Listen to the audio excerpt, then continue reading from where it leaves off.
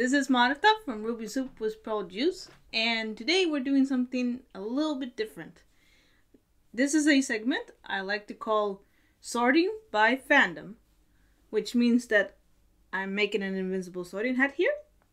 I'm gonna take a fandom and I'm gonna smash it together with the Harry Potter fandom. I'm gonna sort characters from this specific fandom into the different Hogwarts houses. Um, for those who don't know, the Harry Potter books are about a boy called Harry who finds out that he is a wizard and he goes off to a boarding school called Hogwarts where they teach witches and wizards to do stuff with their magic. And how they divide up the kids is that they have four houses. There's the Hufflepuffs that are known for being very loyal and easygoing. There's the Ravenclaws who are known for being wise and for their ambition and how they like to seek knowledge. There's the Slytherin people who are very cunning and kind of like manipulative, and it can be both good and bad, but manipulative. Uh, they also have a tendency to be a little bit elitist. And then there's the Gryffindor people who are kind of like known for being very brave and very um, out there. So yeah, uh, and today, the fandom that I'm gonna use is Death Note. Death Note is a anime and manga. Unfortunately, in this video, I'm gonna have to go with the anime because that's what I'm more familiar with. So yeah, let's get started. So, uh, Death Note, uh, I should also probably say that if you haven't seen the anime or read the manga, don't watch this video. It's gonna be spoilerific and I'm gonna be mostly talking about talking in a way that's more aimed at people that have seen it. So let's get started.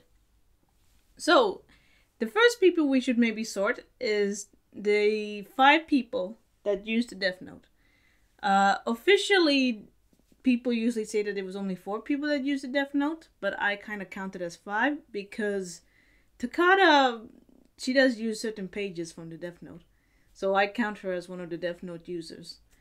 Um, but nevertheless, so the first person who used the Death Note was Light Yagami, uh, a brilliant but quite bored student who, when he gets the Death Note, he decides he's going to become God of the New World.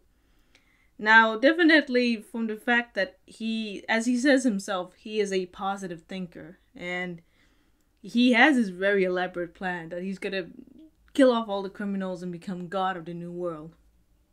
So that that is very ambitious. If that's not ambitious, I don't want to know what is ambitious. And throughout the whole series, the reason why Light gets so far that he does is because he is really cunning and very manipulative and can be very deceitful. So he is a very typical Slytherin. He is probably one of the most Slytherin characters ever written. And then when we go to the next person who used the Death Note, uh, Misa Amane, or Amane Mise, uh, sorry, um, Amane Misa, if we're gonna go by Japanese um, way of saying names. Um, she was kind of just using the, the Death Note to get Light's attention. And her whole character was very much based around kind of just wanting to impress the original Kira. So she is not nearly as ambitious. However, the fact that she kind of goes with this crazy plan in the first place, uh, doing this hijacking of Sakura TV just to get some guy's attention. It uh, it's not maybe the smartest thing, but it most certainly is very ballsy, uh, very out there, and very kind of courageous. So she definitely is a Gryffindor, um, because she most certainly is very brave in that way. And then the third person, Higuchi, who was a businessman who he says in the in the anime that he wants to become a very important CEO. He wants to get a lot of respect and a lot of power. And when he finds out that Misa used to be the second Kira, he decides absolutely that he also wants to get a beautiful wife. So his hunger for power and his hunger for things just kind of grows. And he most certainly he's not very bright. He kind of considers himself a little bit more smarter than what he actually is, but he most certainly is very driven and he has this very clear image in his head of what he wants so he would be a Slytherin. And I guess like a lot of people would say that he doesn't really count as a Slytherin because he's not very bright. But actually, in the Harry Potter books, uh, there's certain characters like Crabbe and Goyle. I mean, they weren't very bright, but they were in Slytherin anyway. So let's say that Higuchi is kind of like those two. He's one of these few, um, a little bit more slow Slytherins. um, and then we get to the fourth Kira, Teru Mikami, or well, Mikami Teru. He um he he's a lawyer, so he is very bright. But he doesn't have the same kind of ambition that Light and Higuchi have. And I don't know if he's he's not really all that out there as Misa is. Teru is a lot more he's kind of like in his own world he's very super organized. He has his whole schedule. He's very much a lone wolf.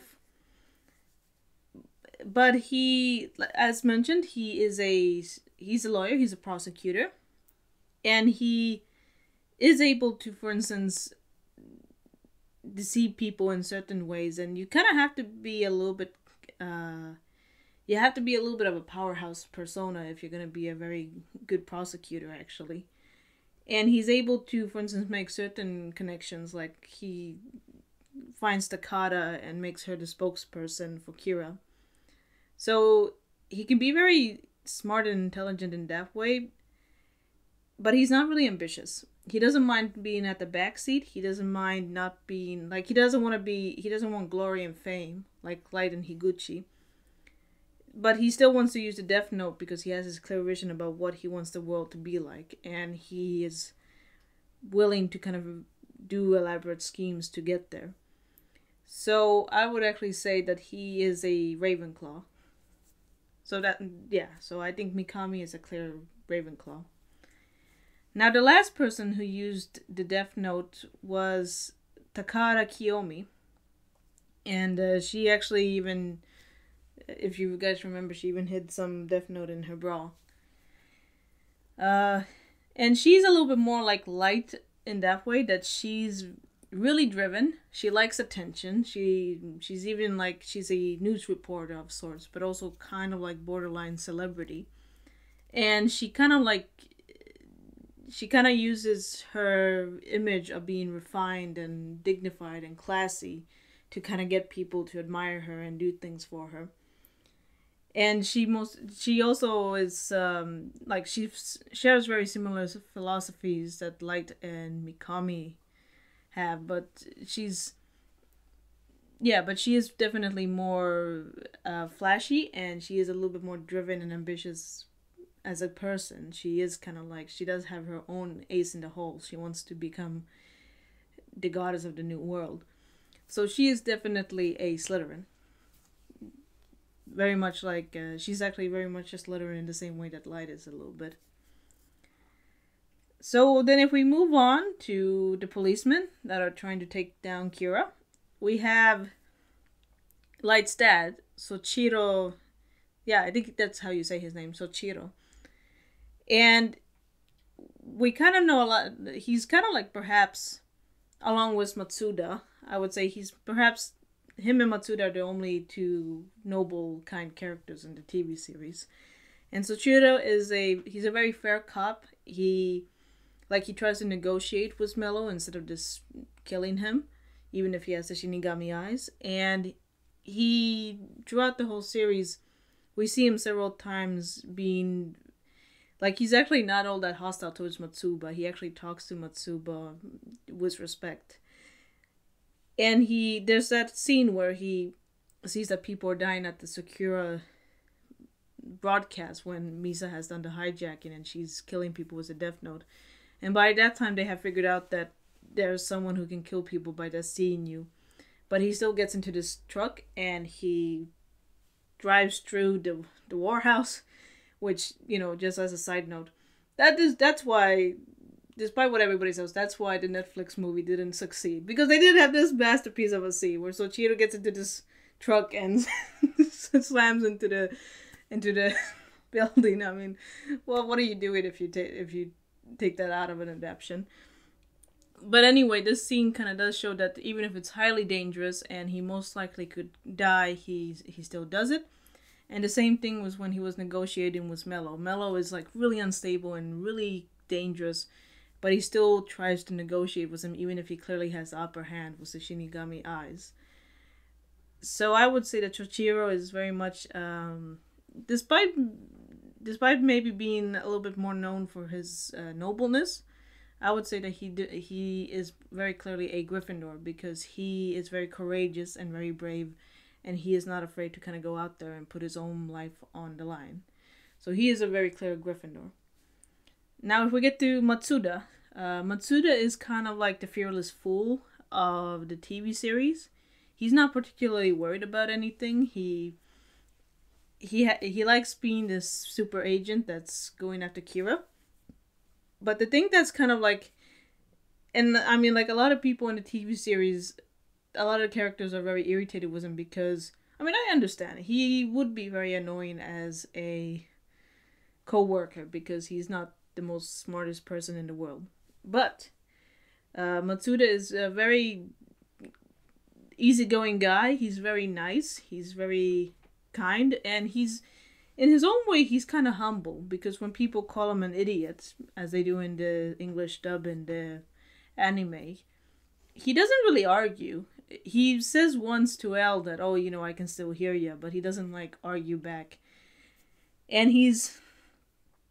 And like when the chips are down, he's always really loyal to Soichiro, and he is very loyal to the policeman, even if he sometimes thinks that Kira might have a point. And he's actually nice enough to actually weigh both sides and think about the several viewpoints.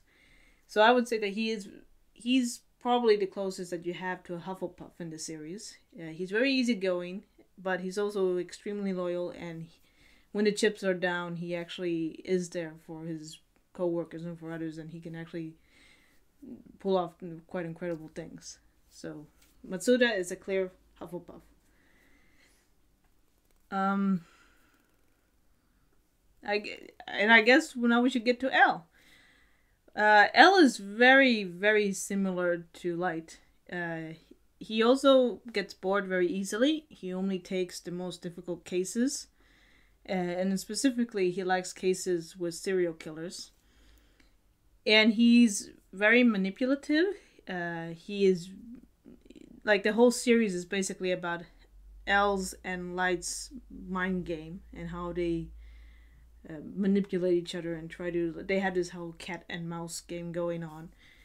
So, yeah, and L also is like not particularly. I mean, he's kind of polite, but he's not particularly nice. If we're gonna be honest, he's.